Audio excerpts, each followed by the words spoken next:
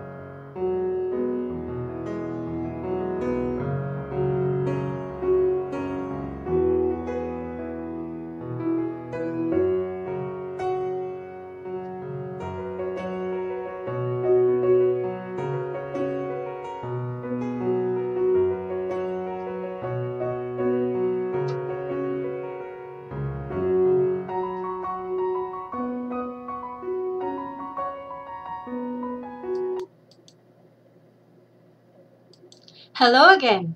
So our topic for today is citizenship. The most essential learning competency for our topic is to explain the importance of active citizenship. Before we start our discussion, let us have the following activities first. I'm sure you can easily answer this activity. So you just you are just going to fill in the missing word. So let us hear your answer. What is the answer for number one? Correct. Filipino. How about the next? Blank. Very good. Nanunumpa. The third one? Katarungan. Very good. How about the fourth and the fifth? Makatao at makabansa. So let's read the oath together. So, ako ay Pilipino, buong katapatang nanunumpa sa watawat ng Pilipinas at sa republikang kanyang sinasagisag na may dangal, katarungan at kalayaan na pinakikilos ng sambayan ng makajos, makakalikasan, makatao at makabansa. What do you think is the importance of this oath? Or what is the message of this oath? Correct. It tells about our loyalty to our country. Let's move on with the next activity.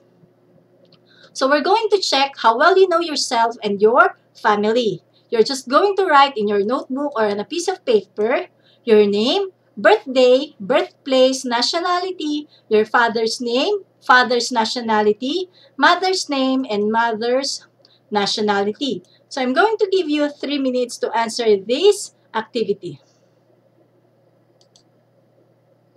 Okay, so let's hear your answer. I'm sure you very well know your name, your birthday, and your birthplace. Let me see, what is your nationality? Oh, you are a Filipino. How about your father? What is his nationality? He is also a Filipino. How about your mother? What is her nationality? She is a Filipino. Okay. Why do you say you are a Filipino? Or your father or your mother is a Filipino? What is your basis for saying that it, that it is your nationality? Let me see. Okay.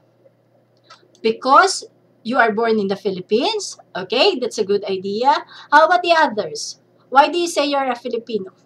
What is your basis for saying that you are a Filipino? Correct, because your father and mother are Filipinos. So in this lesson, you will better understand the basis for you being a Filipino. Let us check your knowledge on our previous topic first, civil society and social movements. So answer the following questions in your notebook or in a piece of paper. I'm going to give you five minutes to answer these questions.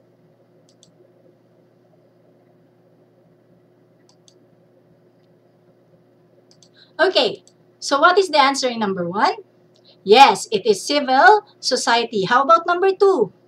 Social movement. Correct. Number three. Very good. So, revolutionary social movements. How about number four? Civil society organizations. Number five, social movements. How about six? Very good. Institution. Number seven. Correct. Social movement. How about number eight? What are the answers? Very good. Institutional space, distinct realm of values, and institutional mechanism. Now, for the next slide, we're going to check your prior knowledge on citizenship. So you're just going to determine what is asked or described by the following statements. This is a 15-item test and I'm going to give you 5 minutes. You just have to write the letter of your answer in your notebook or on a sheet of paper. So this is the first set of questions. Are you done? We move on with the next. Okay, for the last set of questions.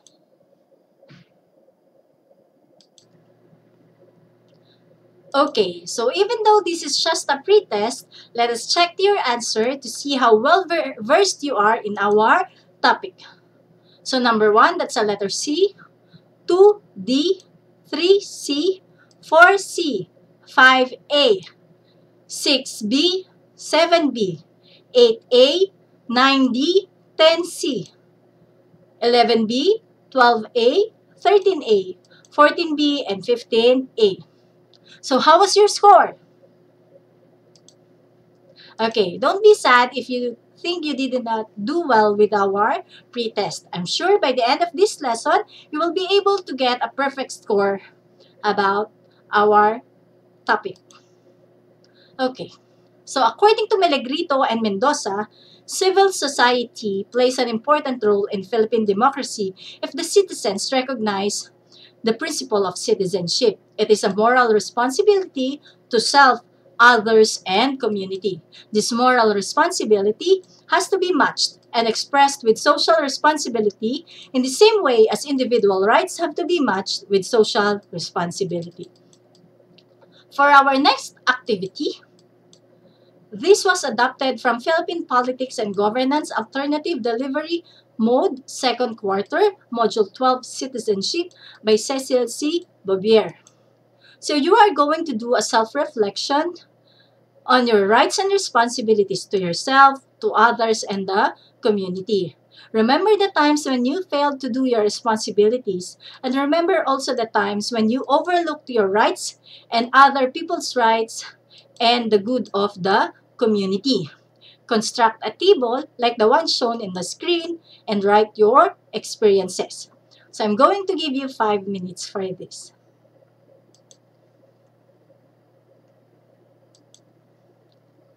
Okay, so are you done?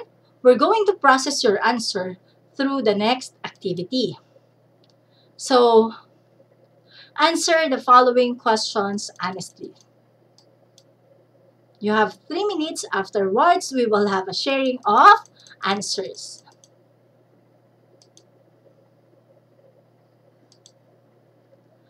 Okay, time's up. Let us hear your answers, class. Very good realizations. Now, the next activity is entitled Guess the Word. By the title itself, you are to guess the word by rearranging the jumbled letters. So the first word what is the word? Very good. It is nationality. Second word. Yes, correct. It is citizen. How about the third one? Are you having a hard time? Okay, the third word is allegiance. How about the fourth one? Very good. It's very easy. It is birth. The fifth one? Yes, correct. Citizenship. How about the next word? Very good. It is participation. The next? Okay, so it's a hard one too? Okay, the word is repatriation. You will learn more about repatriation as we go with the discussion. The next word. Yes, apathetic. How about the last, uh, the next one? Correct, ideological. And the last one? Very good. Virtuous. Okay. So, before we discuss active citizenship, it is a must that we must understand, or you must understand first, the concept of citizenship. The following lecture is lifted from the book Philippine Politics and Governance by Rene C. Tabajen and Erlinda B. Pulma, textbook on the Philippine Constitution by Hector S. De Leon, and some parts were also lifted from Philippine Politics and Governance, second quarter, module 12, Citizenship, first edition by Cecil C. Bobier. No copyright infringement intended. Okay. So Article 4 of the 1987 Constitution deals with the concept of Philippine citizenship. It states that Section 1 the following are the citizens of the Philippines. Those who are citizens of the Philippines at the time of the adoption of the Constitution. Paragraph 2. Those whose fathers or mothers are citizens of the Philippines. Paragraph 3. Those born before January 17, 1973 of Filipino mothers who elect Philippine citizenship upon reaching the age of majority. And paragraph 4. Those who are naturalized in accordance with law. Now, for section 2.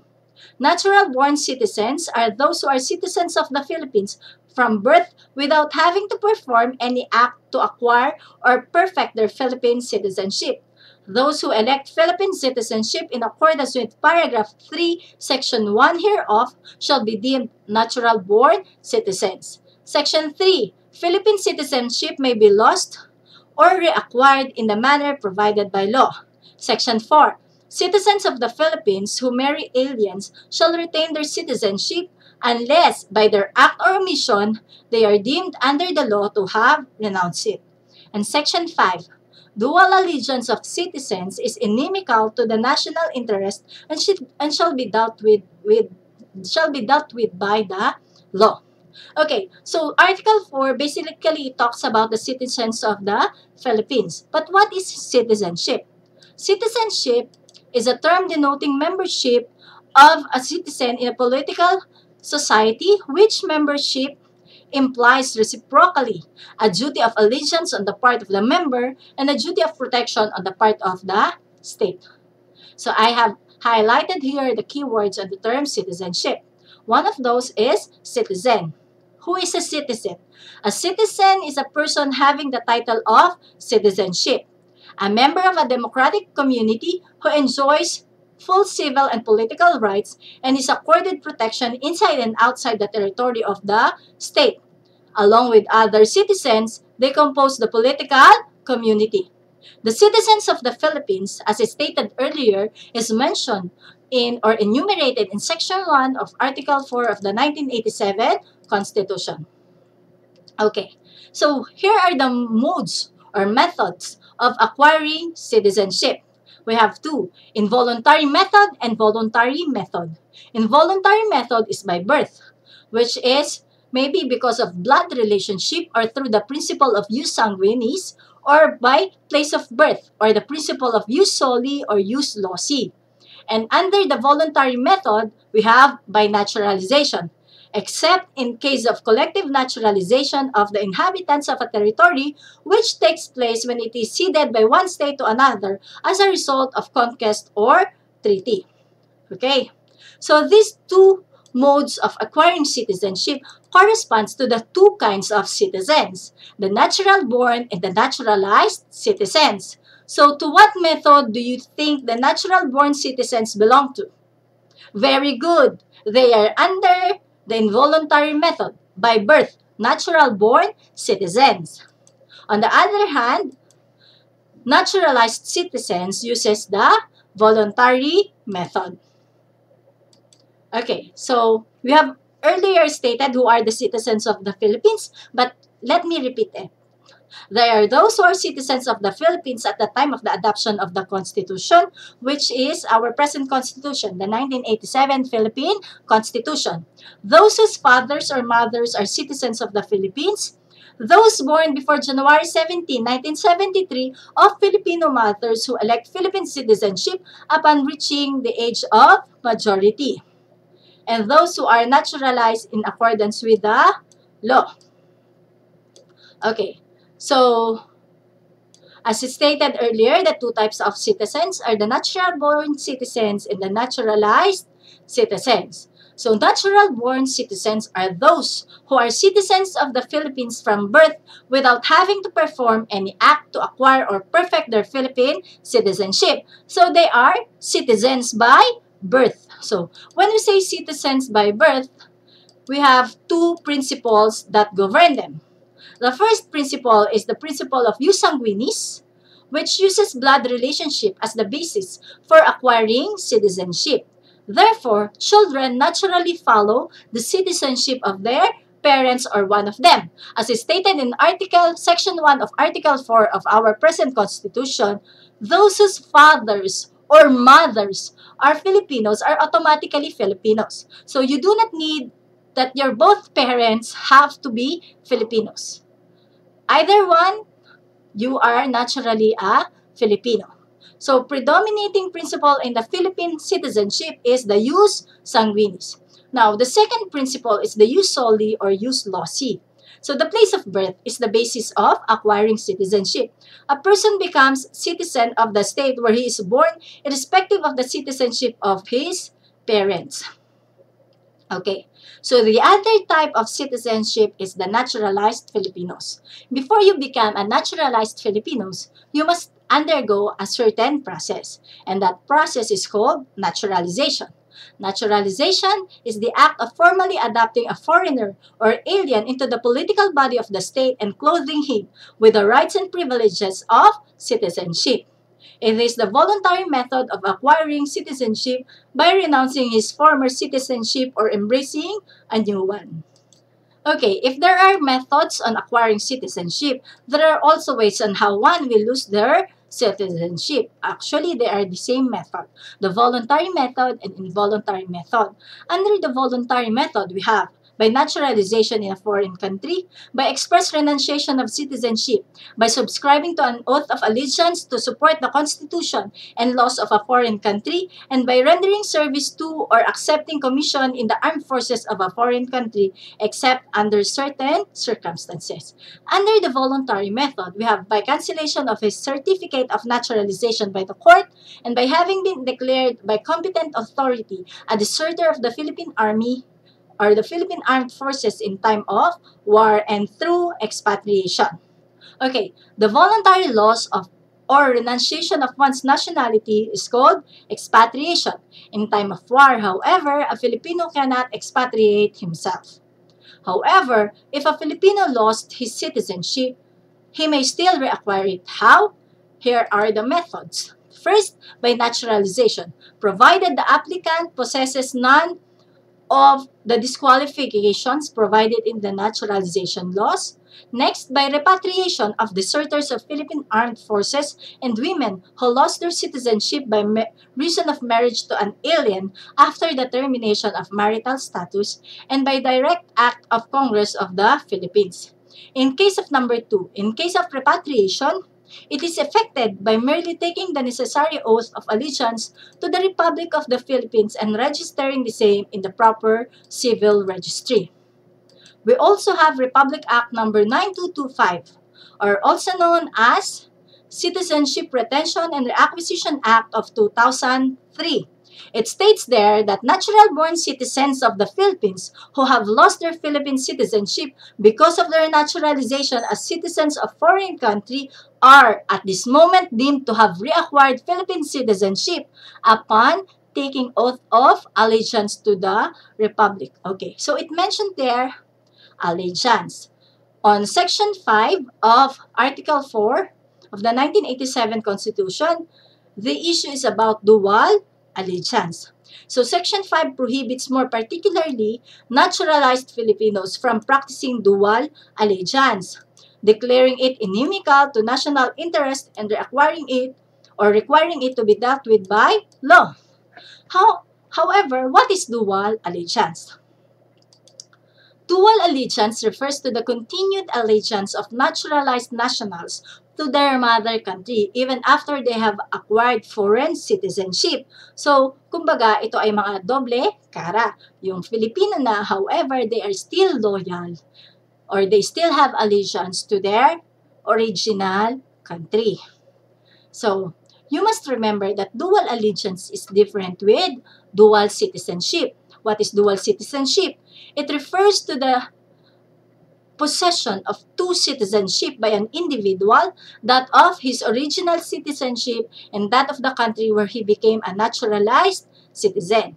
Take note that Section 5 of Article 4 of the 1987 Constitution does not prohibit dual citizenship. It prohibits dual allegiance. Dual citizenship arises because our laws cannot control laws of other countries on citizenship. While it is not per se objectionable, the status of dual citizenship may be regulated or restricted by law where it is conducive or could lead to dual allegiance. Now, now that you understand what is citizenship, what do you think goes with this title? Any ideas, class? Yes, because you are a member of a political community, because you are a citizen, you must realize that for every right you have as a citizen, as a member of the political community, there is also a corresponding duty. If people are, are aware not only of their rights but also of their obligations, there will be less misunderstanding and less conflict in the society. Rights become fully enjoyable only when all the citizens without exception comply loyally to all their obligations. The enjoyment of rights becomes sufficient and real to the degree that citizens willingly carry out their obligations. So, I'm going to give you some of the duties and obligations of a citizen. Okay, because you are a citizen, you have the right or you have the duty to be loyal to the republic. You have to defend the state, to contribute to the development and welfare of the nation or of the state, to uphold the Constitution and obey the laws, to cooperate with duly constituted authorities, to exercise rights responsibly and with due regard for the rights of others, and to engage in gainful work and to register and vote. Now, I want you to reflect were you able to do these duties and obligations as a citizen of our country, as a Filipino? Are you able to do these duties and obligations? If yes, very good. You are the kind of citizens that our country need. Need. If not, do not worry. Now that you know your duties and responsibilities or duties and obligations as a citizen, you can now start doing them. We now move on with the next topic, that is active citizenship. Okay. The key element in citizenship is an in-depth understanding of an individual's environment, backgrounds, and nature as a member. As stated earlier, citizenship denotes membership in a political society. The membership implies a duty of allegiance on the part of the member and a duty of protection on the part of the state. According to Bouvier, the Philippines is a democratic community. Its citizens exercise rights and perform duties and responsibilities in different levels with different reasons. Problems can be fully solved if the government and the citizens and its citizens work together for the common goals. The highest level of citizen participation happens when people or when the people have the dominant decisions over the government. As per 2009, SWS survey on good local governance, local government enjoys a more favorable public support from household heads nationwide with a good net satisfaction rating. This means participation can be fully realized if the government exercises their duties and allegiance in support for the people and vice versa. So Rosenaus uh, gave classification of citizens in 1997. This classification is according to individual self-environment orientation. So we, we have the four types of citizens. Self-centered, apathetic, ideological, and democratic. Self-centered citizens are those who tend to ignore the needs of others and only do what's best for them. Okay, so for example, a businessman who loses his revenue. Because of this pandemic, they plan to continue the unfinished work of his construction business without prior documents to open. Ano? So, he only thinks of what's best for him. So, apathetic citizens are showing lack of feeling or interest in participating activities, insensitive and lack a sense of purpose while an act is being done. Most of the time, a pathetic citizen is passive. So these citizens are those who do not care about what is happening. Ano? So for example, a student during this new normal education who does not or does not care whether he passed or failed. He is apathetic. So we have ideological. These citizens base the act on the society's common beliefs, norms, and participation. This person takes sides because are based on the majority decisions as a safe haven to act.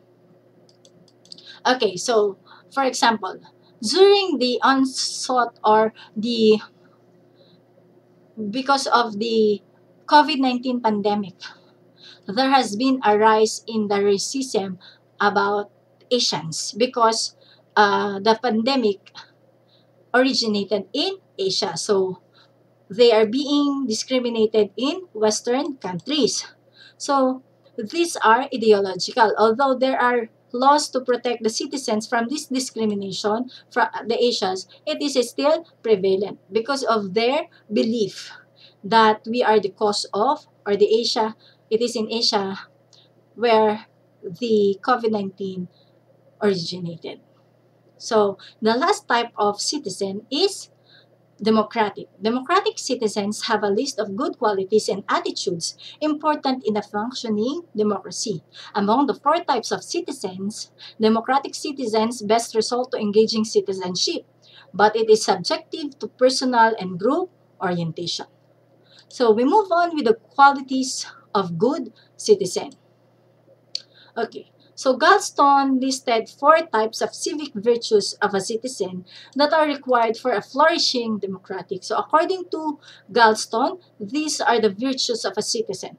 We have the general virtues, the social virtues, economic virtues, and the political virtues. General virtues covers courage, law-abidingness, and loyalty. Social virtues, independence, and open-mindedness. For economic virtues, we have the work ethic, capacity to delay work gratification, adaptability to economic and technological change, political virtues, capacity to discern and respect the rights of others, willingness to demand only what can be paid for, ability to evaluate the performance and willingness to disclosure. Okay. So, we have here ways to show good citizenship. First one is a good citizen is patriotic. That means he is proud of his country, its cultural values and identity. Next, modeling good qualities. Once people see sees it, they must follow it. Then it's channeled to one person to another. Next is being productive. It makes positive contribution, contribution not only to yourself or to oneself, but to the society. Fourth, being informed. Remember that knowledge is power. Fifth, being vigilant. To ascertain that government is doing well. Next, being socially active. Participation to solve the problems makes the problem less complicated. Next, being politically active. We have here being politically active which means that you need you must exercise your rights. Next, 8. Being a mentor. Make your own mark of legacy. Next, being well-rounded. Be more productive. Develop more skills and acquire more information. And lastly, being orderly. Start small and eventually you will create order in everything. As they said, everything starts with a single or small step. Okay, so we move on with the most important topic of our discussion, active citizenship. What does it, does it mean to be, uh, uh, what does active citizenship means? It means someone who takes a role in the community.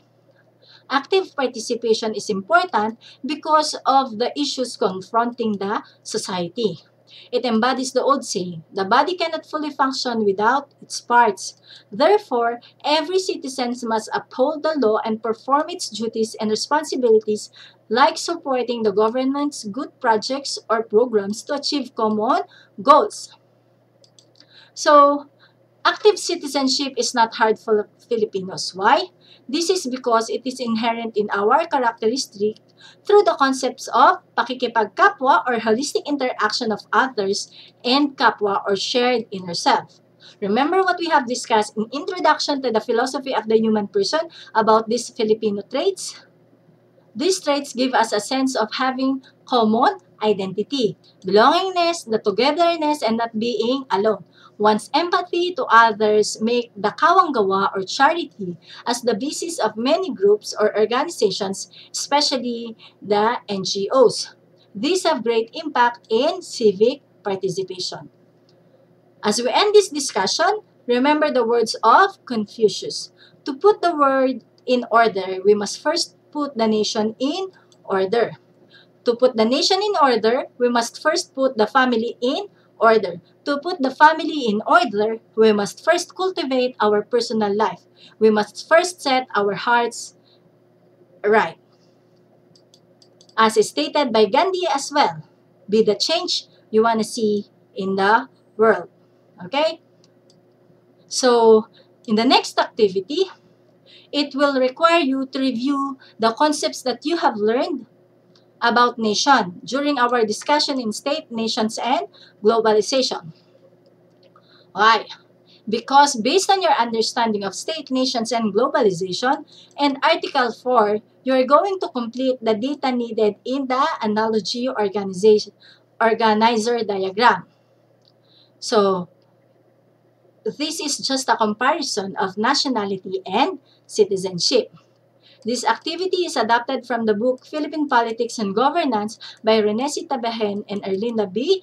Pulma. You write your answer on a whole sheet of paper. I'll give you 10 minutes to do this.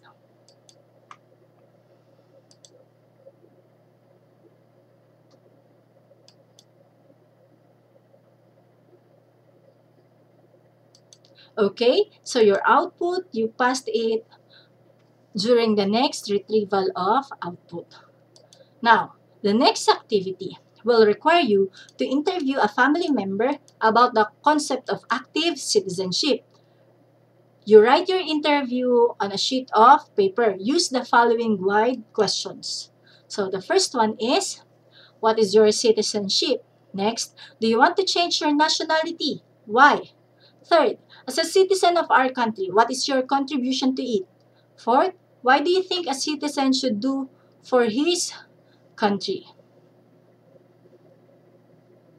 Okay, so for the next activity, let us check your understanding of our lesson today. Answer the questions clearly and precisely as possible. Number one. So I'll give you 10 minutes to answer this on a sheet of paper. 1. How will you define citizenship? 2. What is your citizenship? What is your basis?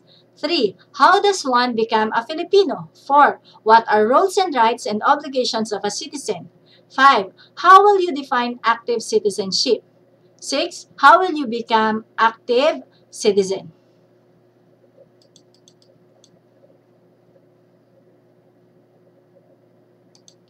Okay, so were you able to answer them? Very good. That means you understand our lesson today. Next activity. So you are going to pass this as well on the next retrieval. In a short bond paper, show five activities or things that you think a citizen should do for his country. You may use poster, slogan, or poem to show your answer. You are free to use any media that you like. Be creative and unique. And we have the following rubric that will be used in the assessment of your output. Okay, so you are to submit this next meeting. Now, to further process your understanding of citizenship, we will have more activities next meeting. Please do advanced study of the following. First, The Elephant and the Six Blind Men. This is a famous Indian fable. You are going to watch this. There are a lot of videos in YouTube and even online. The fable is there. So listen to the story carefully. Reflect on how you can connect it to active citizenship. Be ready to answer processing questions afterwards. But since we have extra time now, I will let you listen to it in order to be sure that everyone has this chance to see it. Okay? So give me a few minutes to show you this fable.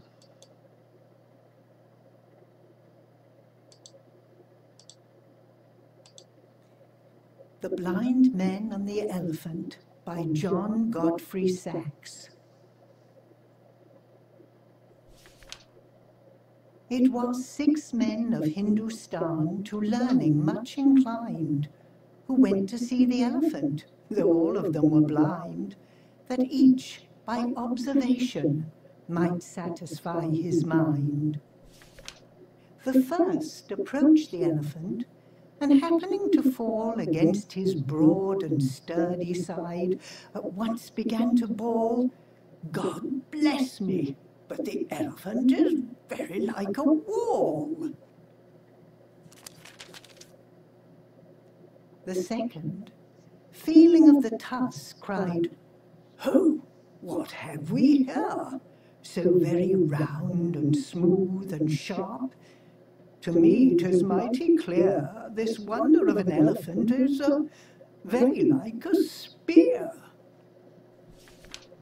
The third approached the animal, and happening to take the squirming trunk within his hands, thus boldly up and spake, I see, quoth he, the elephant is very like a snake. The fourth reached out his eager hand and felt about the knee. What most this wondrous beast is like is mighty plain, quoth he. 'Tis clear enough the elephant is a very like a tree. The fifth, who chanced to touch the air, said, Even the blindest man can tell what this resembles most. Deny the fact who can. This marvel of an elephant is very like a fan. The sixth no sooner had begun about the beast to grope, than seizing on the swinging tail that fell within his scope, I ah, see, quoth he, the elephant is very like a rope. And so these men of Hindustan disputed loud and long, each in his own opinion exceeding stiff and strong, though each was partly in the right, and all were in the wrong.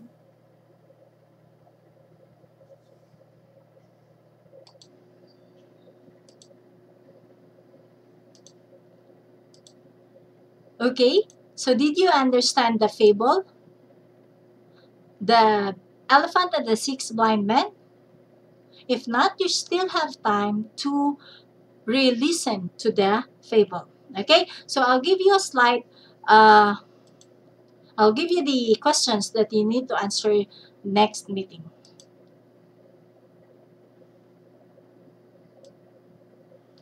Okay, so the next, the other activity that we will be doing, next activity, would be to read the following quotes and explain what it means. So I'll give it to you because you are free to ask the opinion of your parents or guardians or other family members for a broader perspective.